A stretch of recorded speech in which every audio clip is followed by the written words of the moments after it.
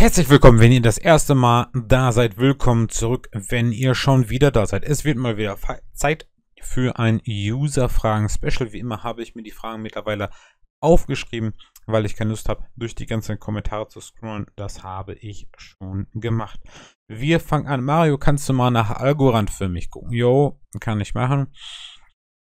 Habe ich mir auf Tages- bis 15 Minuten Basis angesehen. Wir sehen hier diese grüne Linie war eine wunderschöne Longlinie. Ein Auflagepunkt, zwei. Hier nochmal rejected. Und was ist dann passiert? Genau, wir sind durchgebrochen. Hier haben wir einen Retest gekriegt, einen erneuten Retest und dann ging die wilde Fahrt ab. Was mache ich denn jetzt mit Algorand? Naja, guckt euch das hier an. Das habe ich gerade schon eingezeichnet. Das sind 140 Prozent in zwei Tagen. Was soll ich denn jetzt noch damit machen? Das ist ein Monster-Move. Wir haben hier eine mega steil aufsteigende Linie, die ich eingezeichnet habe auf dem 15-Minuten-Chart.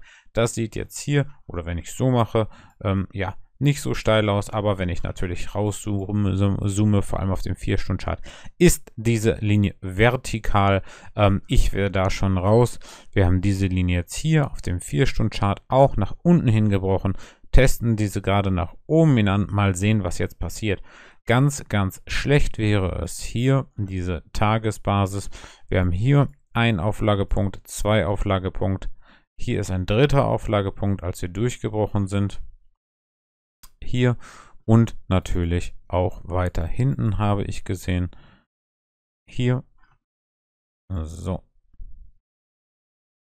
Erst noch Support durchgeflogen, dann Resistance. Diese Marke ist sehr, sehr wichtig. Das ist 1,80 Dollar. Wenn wir die nach unten hinbrechen auf Tagesbasis, wäre das für mich der allerspäteste Ausstiegspunkt aus diesem krassen Move.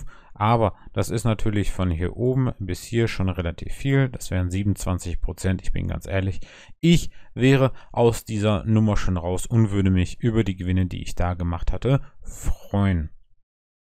Wie sieht's aus mit unseren guten alten Hatern? Ja, die Hater sind immer und überall da. Mittlerweile einfach Kopf zu, drüber stehen. Leute, es ist sehr, sehr nett, wenn ihr mich in irgendeiner Art und Weise verteidigt, weil ihr diesen Kanal gut findet. Aber gebt diesem Trollen einfach, äh, würde ich sagen, keinen kein Platz.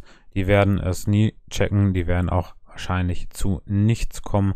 Von daher einfach ignorieren und beiseite lassen. Dann kriege ich im Moment unglaublich viele E-Mails. Wir sehen hier oben, ich habe 18 ungelesene E-Mails, unbeantwortete E-Mails. Leute, es ist total lieb und nett, dass ihr so viel wissen wollt. Ich kriege total viele E-Mails mit. Ich bin dankbar dafür, dass du da bist, dass du so viel Videos machst. Ich habe Geld gespart, ich habe Geld gewonnen, aber natürlich auch Fragen. Ähm, ja, von wegen, ich habe vorher sehr, sehr viel Geld verloren, kannst du mir helfen und so weiter. Da ist einfach im Moment so viel, es kann es dauern, dass ich ein bisschen auf eure E-Mails antworte. Bitte seid mir da nicht böse, aber es ist im Moment sehr, sehr viel geworden, worüber ich mich aber auch natürlich freue. Was haben wir als nächstes? Mario, tradest du mit Hebel? Sehr, sehr selten. Wirklich, ich trade mit Hebel, wenn mir ein Trade wirklich gut vorkommt. Wenn ich sicher bin, wenn ich ja wirklich ein richtig gutes Gefühl habe, das wäre hier gewesen oder bei der 36.5, wo ich gesagt habe, die werden wir retesten. Das war, ähm, ja, ja, ja, ja, wo war es? Weiß ich nicht mehr genau. Aber da habe ich euch gesagt, hey, wir werden die 36.5 retesten. Da bin ich auch long gegangen. Das haben wir auch hier in Anführungsstrichen. Hier war das in unsere Statistik aufgenommen. Ausbruch, Retest. Ne? Wenn ich hier so einen sicheren Trade habe oder den Ausbruch einer wichtigsten Linie im Kryptomarkt. Na, hier war noch einer. Dann ähm, sind das sehr, sehr äh, safe Trades für mich. Und dann kann das natürlich auch mal sein, dass ich da einen Hebel reinpacke. Allerdings, ein maximaler Hebel, den ich jemals benutzt hatte, ist bei 10. Darüber, ja, gehe ich nicht. Das kann mir alles einfach viel zu schnell ähm, gehen, wenn ich mal ein paar Stunden nicht am PC sitze, dass mein Liquidation Point dann ja getriggert wird. Ich bin kein großer Fan von Hebeln, ich mache das wirklich sehr, sehr selten. So, Mario, wenn Bitcoin runtergeht, dann geht doch die Alls runter und äh, warum machst du denn dann überhaupt Analysen für die Alts? Warum nicht nur einfach für Bitcoin? Na, ganz einfach, wir haben bei Ethereum, Litecoin und so weiter und so weiter natürlich ganz andere Punkte, die wir beachten müssen, ganz andere, ja, Fibonacci-Level, ganz andere Trendlinien und wir sehen jetzt hier, wir sind zwar ebenfalls bei Bitcoin unter zwei Linien. Wenn wir die nach oben hinbrechen, haben wir auch hier einen Knotenpunkt, sage ich einfach mal, der befindet sich hier.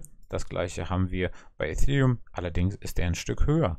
Ne? Und wir sind auch hier weiter unter irgendwelchen Linien. Bei äh, über irgendwelchen Linien. Wir sind jetzt hier bei Ethereum über dem 0618er Fib Retracement. Wir sind bei Bitcoin hier, äh, wir sind bei Bitcoin hier unter einem Fib Retracement. Ne? Nicht zu vergessen, sowas muss man irgendwie alles beachten, sowas, darauf muss man gucken. Und natürlich ist es so, dass wenn Bitcoin abschmiert, dass alles andere abschmiert. Aber es ist auch gut zu wissen, dass Altcoins heftiger korrigieren als Bitcoin. Ne? Wir haben jetzt hier bei Bitcoin ein, Minus gehabt von 20%. Da sind andere Altcoins um 35 abgeschmiert.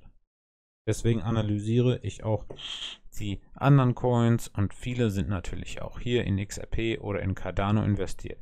Wir haben auch gerne mal äh, ja, eine klare Ansage, eine klare Info dafür, was bei Ihrem Coin passiert und nicht halt nur bei Bitcoin. Mario, ähm, wie sieht es denn aus? Tradest du nur nach Preis oder wie sieht das aus mit Fundamentaldaten? Diese, ja, diese Frage habe ich jetzt schon sehr, sehr oft gelesen und ich werde die jetzt auch noch einmal beantworten.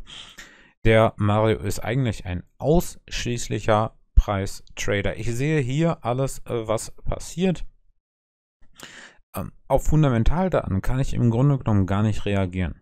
Wenn eine Fundamentaldate wirklich da ist, dann ist der Preis schon passiert. Es sei denn, ich drücke jetzt den ganzen Tag bei Elon Musk F5 zur Aktualisierung auf seinem Twitter-Account und warte darauf, dass er irgendwann mal sagt, ey, Bitcoin ist Arsch. So, wenn er sagt, Bitcoin ist Arsch, dann ist Bitcoin-Kurs auch Arsch. Na? Dann werden wir am Dump sehen von 15%. Okay, dann knall ich sofort den Short rein. Aber ansonsten ist für mich Fundamentaldaten Trading relativ sinnlos. Wir sehen, ähm, El Salvador sagt, alles klar, hier, ähm, wir akzeptieren Bitcoin als Zahlungsmethode. Okay, der Kurs sinkt. Ja, das, hat, das hat alles nicht wirklich Einfluss, sag ich mal, auf mein Trading und hinterher danach zu suchen, warum was passiert ist oder, äh, ja, sag ich mal, viele YouTuber durchzugehen, um nach einer Erklärung zu suchen, warum wir hier einen Absturz hatten, ob es Wahlen waren, ob es Manipulationen waren, ob es ein Blauwahl, ein Grünwahl war, weiß ich nicht. Ganz ehrlich, das interessiert ja auch niemand, warum es so gewesen ist. Es ist passiert. Ne? Wir sind hier abgeschmiert um 19%. Okay, warum brauche ich denn jetzt eine Erklärung dafür, warum das Ganze passiert ist? Es liegt einfach in unserer menschlichen Natur, danach zu suchen, warum etwas passiert ist. Aber ist das jetzt noch wichtig? Die Nummer ist durch. Wer das gewesen ist, warum es gewesen ist, ist eigentlich vollkommen irrelevant. Es ist passiert und wir müssen jetzt gucken, dass wir das Beste daraus machen. Ne? Deswegen analysiere ich zum Beispiel auch die Zyklen vorher. Ich habe euch gesagt, ich bin hier long mit einem engen, äh, engen Stop-Loss, weil das passieren kann, dass wir die nächsten ein, zwei Wochen einen Absturz erleben. Okay, genau das ist passiert. War das jetzt Glück, dass das passiert ist? Ja, natürlich. Aber es war auch Vergleich von irgendwelchen Zyklen. Und ich habe jetzt nicht gesagt, okay, ähm, da kommt jetzt eine Fundamentalanalyse oder der, der zehnte ist für Cardano oder irgendwas interessant. Nein, sondern ich habe das verglichen. Wenn ich nur nach Fundamentaldaten gehe, bin ich viel zu spät dran, außer ich aktuell aktualisiere den Twitter-Account alle drei Minuten. Ja?